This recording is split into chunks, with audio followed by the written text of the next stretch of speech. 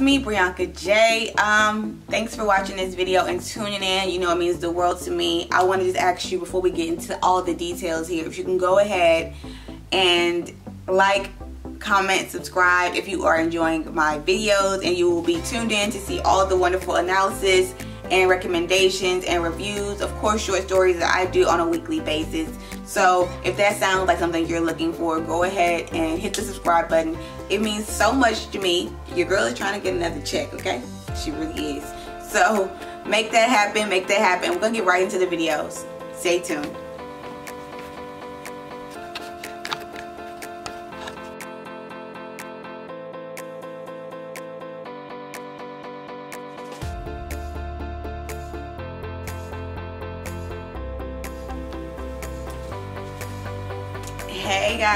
Morning. It's morning for me. It's actually like seven, seven o'clock. Um, I just started going back to the office, so I'm back in the classroom virtually. Um, weird situation. The kids aren't there, but we're just training right now. And oh my God, like the transition has me so exhaustedly tired. It's unreal. So even when I got home yesterday, I really wanted to do this analysis of Jean Toomer's Karintha. And I kept looking at the camera. My body was filling the bed and the bed won, okay? But I promised myself that when I woke up that morning before I left for work, I would take a little bit of the energy I had and go ahead and shoot this video because I love YouTube and I, I don't want to like more balance in my life. Like I can do what I love and I can get a check. And hopefully one day I can combine the two. But yeah. anyway, so yeah, Jean Toomer's uh, was like a novella. Um, and written in 1920. So I'll just I'll just go through this. Um, so Karintha is an expert from the novel, right? Cane by Jean Toomer. He was an African American writer who was considered a leading figure in the Harlem Renaissance as well. So Toomer was raised in Washington, D.C., but he moved to Georgia in around 1920, and he taught for four years. Um, Toomer's time, Toomer's time in the South was the source for much of his inspiration and became the foundation of his book, Cane. Cane centers around the landscape and southern people he saw in Georgia. And so the excerpt Karintha is a coming of age story that centers around a woman who has lost her innocence and subsists um, by sexually satisfying the men around her while remaining herself very unsatisfied. And so the poem begins with an epigraph that reads, Her skin is like dust on the east horizon. Oh, can't you see it? Oh, can't you see it? Her skin is like dust on the eastern horizon when the sun goes down. The first thing noted as a reader was the perspective the author chose, which was third person. The perspective offers a degree of objectivity and directs the reader's attention to the subject being presented, but withholds the subject's thoughts and feelings from the narrative. Um, the second thing the reader attains from the epigraph is the comparison between the subjects. Karintha's skin is like dusk. Um, the dusk is the space between time where there isn't necessarily light but isn't necessarily dark. She's not necessarily black. She's not necessarily white. So it talks about her um, her mixed heritage, her complexion, and how it was a part of what made her so desirable. So then he follows the epigraph with this prose and it begins um, immediately offering the reader the central theme of the poem. Man had always wanted her. Karintha, even as a child, Karintha, carrying beauty, perfect at dusk when the sun goes down. Here, the reader learns two things. One is that Karintha was desirous and sexually appealing very young. Second, uh, one can infer that her desire is due to her mixed heritage and her complexion. It's her skin. Her skin is like dusk. She's not too black. She's not too white. It makes her like this the most desirable person. And you gotta remember how you, how they were doing this type of eugenic shit back then. I'm sorry, I didn't mean to curse. Where um, they were like have these quadroon balls and trying to find the perfect capacity of of mixture, right? So from the next line, it says, old man rode her hobby horse upon their knees. That's when you do the knee, you hold the baby. If you're not sure, that's how you do the hobby horse. And so, um, young men dance with her at frolics when they should have been dancing with the grown-up girls. The reader learns how early on Corinth's beauty is an attractive source for men of all ages. And they begin to sexualize her innocence, especially in reference to the hobby horse um, a children's toy that's to be ridden and mimics the gallop, right? Is now a way to feed the sexual desires of older men. Toomer ends the passage with, God grant us youth. Secretly prayed the old men. The young fellows counted the time to pass before she would be old enough to mate with them. This interest of the male who wishes to ripen a growing thing too soon could mean no good to her. Again, Toomer is referencing to the sexual desires of these men on a child, but this time comparing comparing it to a fruit.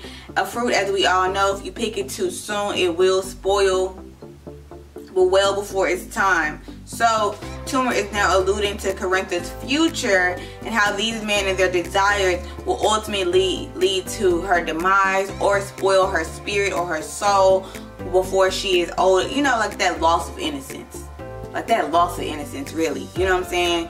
You know I, have grown up with some girls and it's like you you kind of they kind of plucked them a little early and now you see them now you be like oh, Whew.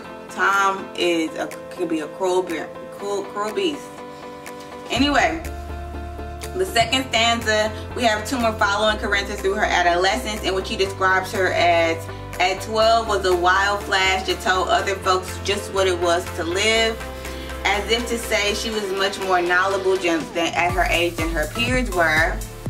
Um, sorry. A wild flash is both unexpected and fast, as if to strike, it strikes hard. There is no coincidence that this is used to describe Corinthia here. She was much quicker than her peers.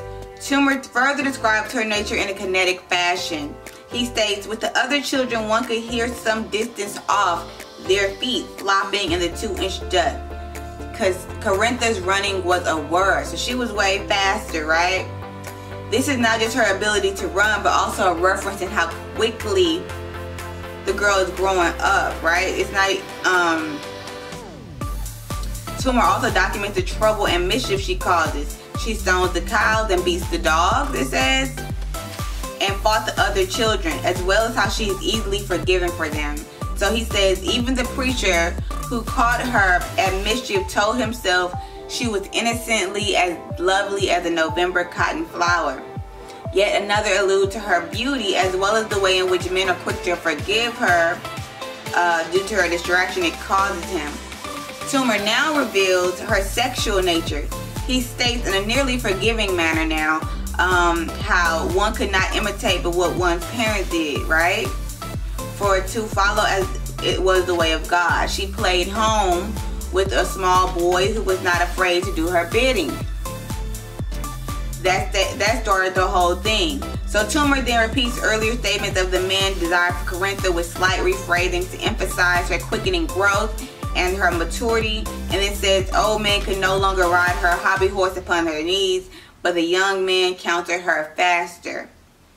So, before beginning stanza 3, Toomer then restates the four-line epigraph with a slight rephrasing and a quickened tempo, but it still refers to Corinth's beauty and mixed heritage as if to emphasize that these two qualities were the source of all her troubles. Following the epigraph, Toomer makes assorted references to the subject matter and phrasing of earlier paragraphs. To emphasize, sorry, let me go this way. To emphasize his point, Toomer uses repetitions in, of actual sentences and phrases. And, I'm sorry, Toomer dramatically begins, Corinthia is a woman now, stated short and to the point, so not to give the reader any source of doubt. Toomer then continues by offering the reader more detail about the now adult Corinthia. First, that she is still as beautiful as she ever was, perfect as dust. She who carries beauty, perfect as dust when the sun goes down. And then he says, Uh, however, he quickly follows his statement referring to her troubles and love. She has been married many times. He doesn't give us any reason of why the marriages failed, um, but one would infer from the preceding epigraph that because of her beauty and how it was men's only desire to have her as a prize more than a person. So she may have just had this uh, indignant attitude towards marriage and men altogether. We don't know. Um, old men remind her that a few years back they rode her hobby horse upon their knees. Karintha smiles and indulges them when she is in the mood for it. She has contempt for them. Now we see Karintha finally ripen and the men beginning to take pleasure and satisfaction on sexual desire that they held for her in her youth. But you also see that Karintha, now a woman, is no longer impressed or interested in men in such a way. Her youth already gone and these experiences have been mastered so early, she holds disdain for men. Karintha, who was once preyed on, becomes the now predator. She now trades with these men, um, taking advantage of their desire and creating a living from it. So Karintha, becomes a prostitute, to say the least, right? So it says um, young men run fields to make her money. Young men go to big cities and run on the road. Young men go away to college. They all want to bring her money. So these were these were the young men who thought all they had to do was count time. So now it says, just as old man Karintha is not oppressed, she has become a woman and has found men's weakness to, to her and utilizes it for personal gain here. Karintha is now a prostitute, but has done something more dreadful than just that. In the next stanza, Toomer reveals more of Karintha's nature. She had had a child at this point. So she has a child. It says, and she had a child. A child fell out of her womb onto a bed of pine needles in the forest. So Toomer, uh, and it says, Toomer then alludes to the way Karintha murdered the child at the sawmill. So in this thing where he says, smoke is on the hills, smoke is on the hills, oh rise and take my soul to Jesus, he's pretty much implying that she buried and killed her child and hid it in the sawdust mill. And it says in the final paragraph, um, it's shorter than all the others it's a rephrasing of the earlier stated sentences. Again, it says, Toomer repeats, Karintha is a, a woman now. Men do not know that the soul of her was a growing thing ripened too soon. So he says her soul is like ripened fruit, has now begun to rot. This is a restatement of the last line in the first paragraph, and it emphasizes that this has begun to occur in Karintha's youth, right? When she was pressured to mature and grow or ripen before her time. And now that her time has come, she's already begun to ride. Like before she's ready to be picked, to be really married, to be a, to be a mature woman, her, her, her, her heart is already tainted by the world. And then Toomer ends the poem stating only her name and an ellipsis, then repetition of the epigraph, but this time ending it with the words goes down. Uh, so when the sun goes down, right? A hit at the inevitable defeat of Karintha, who was brought to maturity too soon and was used misused by men. So in conclusion, Karintha is the story of the conflict of woman versus man and the defeat of this woman because of the constant pressure and desire men have placed upon her all her life. She existed through the men who quartered her, her unequal state and large gender issues and social barriers examine the lack of women's rights here men selfishly destroyed her youth and she was forced to partake in her society's expectation of reproductive things. So Karintha is representation representative of many women, right? Whom were so suppressed that their rights were nearly non-existent during this time. And the ending is Toomer's emphasizing of her defeat.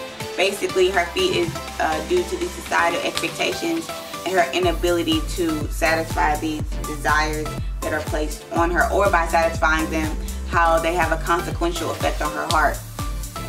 Anyway i'm so happy i got to get this love so happy i got to get this done today. Yeah i like Karintha i like Cane.